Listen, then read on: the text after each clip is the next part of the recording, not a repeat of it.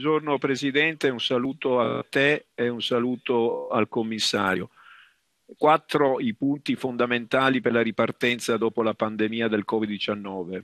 Il primo, interventi che limitino il calo demografico. Senza cittadini non c'è Europa.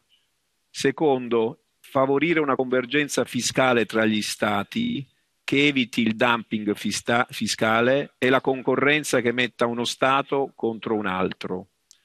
Terzo, investire su filiere produttive complete per i problemi sanitari. L'emergenza ci ha fatto capire che su alcuni dispositivi di sicurezza e di, preven- di protezione eravamo troppo succubi da paesi dell'est, a cominciare dalla Cina. Sulla sanità bisogna intervenire fortemente sul completamento delle filiere produttive sulla supply chain.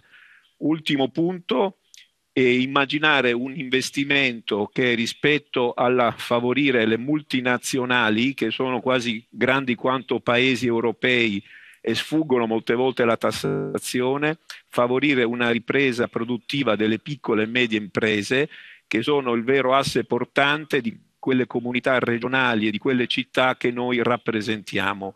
Il locale più flessibile riesce a rispondere per interessi europei più in maniera efficace ed efficiente rispetto al globale. E faccio un complimento al commissario per il suo impegno sul multilinguismo perché ritengo che questa sia la base della futura Europa delle comunità, delle regioni e delle città. Buon lavoro a tutti. Thank you very much.